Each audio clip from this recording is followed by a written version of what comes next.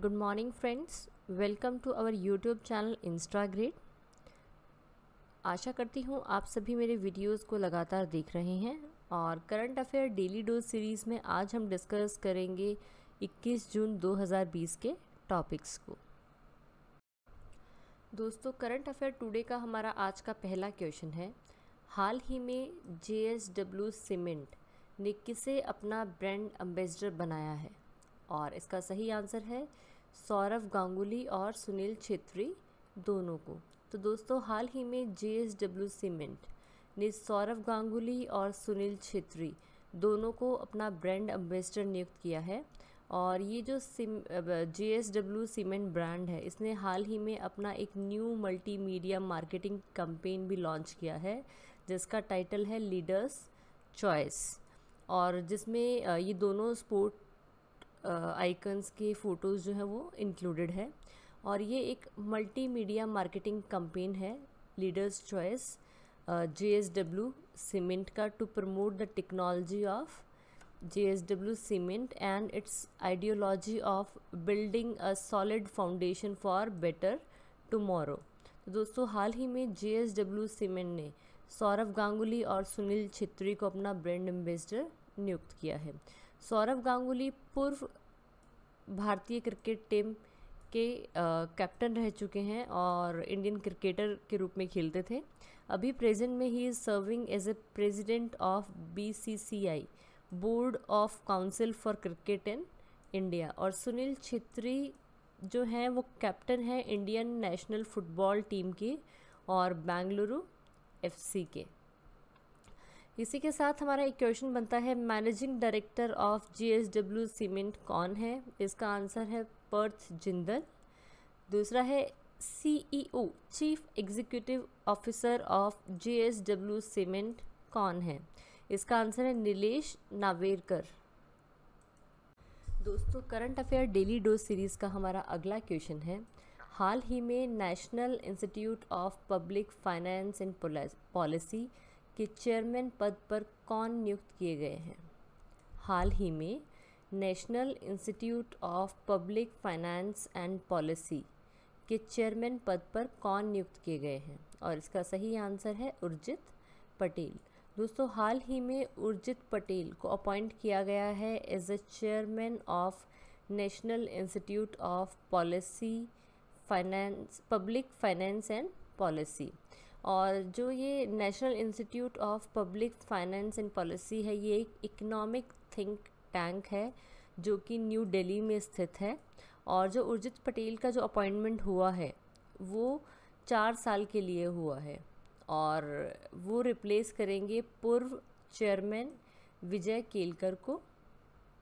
उर्जित पटेल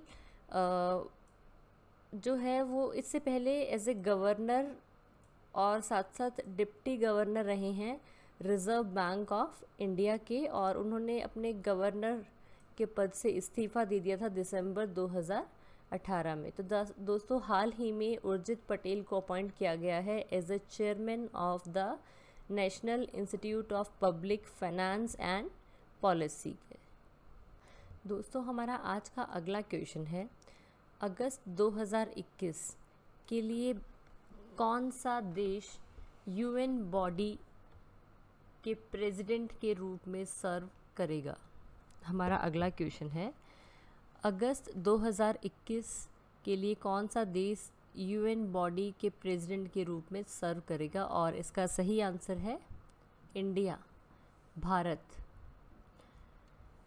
दोस्तों आ, इंडिया अपने कल के करंट टॉपिक्स में मैंने डिस्कस किया था कि हाल ही में इंडिया जो है वो इलेक्ट हुआ है as a non permanent member of United Nation security council और जो इसके बारे में मैंने डिस्कस किया था यूनाइटेड नेशन सिक्योरिटी काउंसिल है, इसका प्राइमरी पर्पस था टू प्रोवाइड इंटरनेशनल सिक्योरिटी ठीक है? उसके बाद मैंने बताया था कि जो यूनाइटेड नेशन सिक्योरिटी काउंसिल है, इसके टोटल फिफ्टीन मेंबर्स होते हैं, जिसमें से पाँच जो है वो परमानेंट मेंबर्स होते हैं और दस जो है वो नॉन परमानेंट मेंबर्स होते हैं।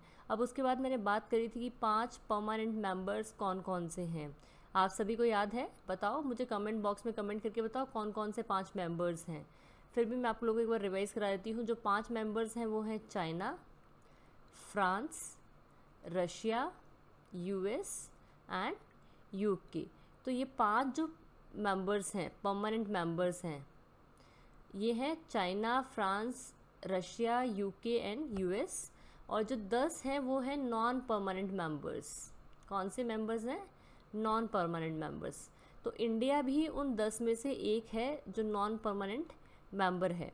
और इंडिया के साथ साथ इस यूनाइटेड नेशन सिक्योरिटी काउंसिल में आयरलैंड मेक्सिको और नॉर्वे भी सेलेक्ट हुए थे as a non permanent member तो जो इंडिया है उसको एज ए प्रेसिडेंट सर्व करेगा for the UN body for the month of August 2021 according to the rules क्या है कि यूनाइटेड नेशन सिक्योरिटी काउंसिल में हर एक कंट्री uh, एक मेंबर की तरह एक्ट करेगा और और हर मंथ उसकी अल्फ़ाबेटिक ऑर्डर में टर्न आएगी जो भी इसके मेंबर्स हैं उन सब की, इसमें एज ए प्रेसिडेंट सर्व करने के लिए। According to the rules India will assume the rotating presidency और इंडिया को जो प्रेसिडेंसी मिली है, वो अगस्त 2021 के लिए मिली है। नॉर्वे एयरलैंड केनिया और मैक्सिको ये भी क्या है नॉन परमानेंट मेंबर्स हैं काउंसिल के। और ये जो जितने भी कंट्रीज़ हैं, जो as a non permanent member elect हुए हैं, इनका जो सेशन है वो टू ईयर टर्म का रहेगा और ये इसकी शुरुआत होगी फ़र्स्ट जनवरी 2021 से। और एक क्वेश्चन और बनता है इस टॉपिक से India's permanent representative to the United Nations कौन है? और इसका आंसर है टी एस त्रिमूर्ति। क्या आंसर है? T S Tirumurti. दोस्तों, हमारा आज का अगला क्वेश्चन है, हाल ही में मार्केट इवेल्युएशन मार्क के संदर्भ में इंडस्ट्रीज़ लिमिटेड ने कितने बिलियन मार्क मार्क को पार कर लिया है? और इसका आंसर है 150 बिलियन डॉलर मार्क को। दोस्तों, हाल ही में रिलायंस इंडस्ट्रीज़ लिमिटेड ने अपना 150 बिलियन डॉलर का जो मार्क था वो कंप्लीट वो क्रॉस कर लिया है in terms of market capitalization.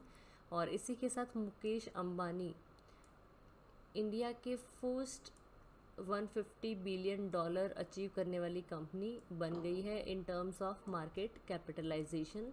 और रिलायंस इंडस्ट्रीज़ लिमिटेड ने ये अचीव किया इस माइलस्टोन को, when its share price had gain 6.23 percent. दोस्तों, करंट अफेयर टुडे का अगला क्वेश्चन है, हाल ही में आरएनडी पोर्टल, सत्यभामा पोर्टल किसने लॉन्च किया है? और इसका आंसर है प्रहलाद जोशी। दोस्तों, हाल ही में union minister for coal mines and parliamentary affair, Pralhad Joshi ने एक आरएनडी पोर्टल लॉन्च किया है, जिसका नाम है सत्यभामा। और सत्यभामा का फुल फॉर्म होता है science and technology Yojana for Aatmanirbhar Bharat in mining advancement और जो ये R N D portal Satyabhama launch किया है, इसको design developed and implemented by national informatics informatics centre जो ये आर एन डी पोर्टल है सत्यभामा इसको डिज़ाइन, डेवलप और इम्प्लीमेंट किया है national informatics centre, mines informatic division ने। और इसको इंटीग्रेट किया जाएगा with NGO Darpan portal of NITI Aayog. दोस्तों, हाल ही में union minister for coal, mine and parliamentary affair, Pralhad Joshi ने एक आर डी पोर्टल को लॉन्च किया है, जिसका नाम है सत्यभामा। सत्यभामा का फुल फॉर्म है science and technology Yojana for Aatmanirbhar Bharat in mining advancement दोस्तों, हमारा आज का अगला क्वेश्चन है, हाल ही में economist B P R Vithal का निधन हो गया है। वह कौन से फाइनेंस कमीशन के मेंबर रह चुके हैं? और इसका सही आंसर है दसवें, यानी टेंथ फाइनेंस कमीशन के member economist B P R Vithal जो कि एक मेंबर थे टेंथ फाइनेंस कमीशन के, उनका हाल ही में निधन हो गया है और ये पूर्व आईएएस ऑफिसर थे 1950 बैच के 1950 बैच के। इसके साथ ही इन्होंने सर्व किया है as a secretary finance planning government of Andhra Pradesh में फ्रॉम 1972 से 82 तक। और इसके साथ साथ इन्होंने as a international monetary fund में एक फ़िज़िकल एडवाइज़र के रूप में भी काम किया है for the governments of Malawi and Sudan और इन्होंने एक इंस्ट्रूमेंटल रोल प्ले किया है for the establishment of centre for economic and social studies जो कि हैदराबाद में स्थित है। दोस्तों हाल ही में बी पी आर विठल जो कि एक मेंबर थे टेंथ फाइनेंस कमीशन के उनका निधन हो गया है। दोस्तों करंट अफेयर टुडे का हमारा अगला क्वेश्चन है वर्ल्ड रिफ्यूज़ी डे किस दिन मनाया जाता है? और इसका आंसर है ट्वेंटी ऑफ़ जून। दोस्तों आ, हर साल 20 जून को वर्ल्ड रिफ्यूज़ी डे सेलिब्रेट किया जाता है ऑल ओवर द वर्ल्ड और वर्ल्ड रिफ्यूज़ी डे सेलिब्रेट किया जाता है बेसिकली uh, सभी को याद दिलाने के लिए कि जो भी रिफ्यूज़ी का मतलब होता है शरणार्थी। Uh, जो भी रिफ्यूज़ीज़ हैं जो uh, मतलब हर एक रिफ्यूज़ी का अपने समाज के प्रति कोई ना कोई योगदान होता है और हर एक व्यक्ति चाहे वो रिफ्यूज़ी या वो नॉर्मल पर्सन है उसका दुनिया मतलब पूरे वर्ल्ड को सम्मान देने में प्रयास उसका कहीं ना कहीं मायने रखता है।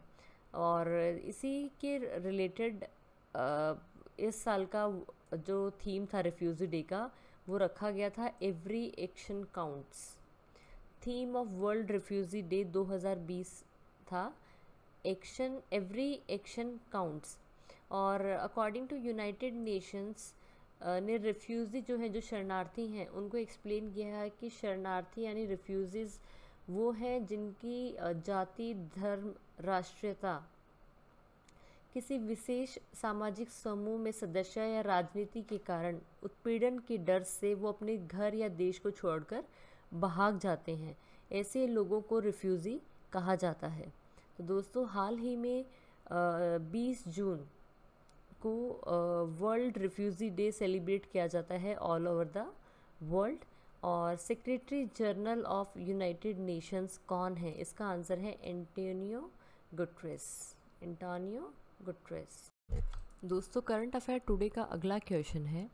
हाल ही में ministry of housing and urban affairs and small industries development bank of India ने एमओयू साइन किया है। यह एमओयू किस स्कीम से संबंधित है? यह एमओयू किस स्कीम से संबंधित है? इसका आंसर है पीएम स्वनिधि स्कीम। दोस्तों, हाल ही में ministry of housing and urban affairs और small industries development bank of India इन दोनों के बीच में एक M O U memorandum of understanding sign हुआ है for PM street vendors Aatmanirbhar Nidhi यानी पीएम स्वनिधि योजना के लिए। PM Svanidhi is a special micro credit facility for street vendors तो ये योजना मेनली किसके लिए है? जो स्ट्रीट वेंडर्स हैं, उनके लिए है।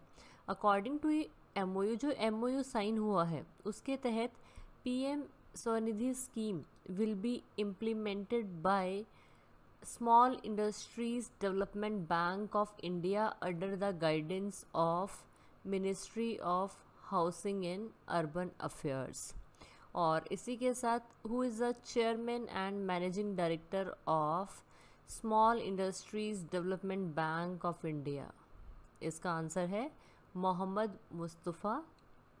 नेक्स्ट हमारा है union minister of housing and urban affairs कौन है?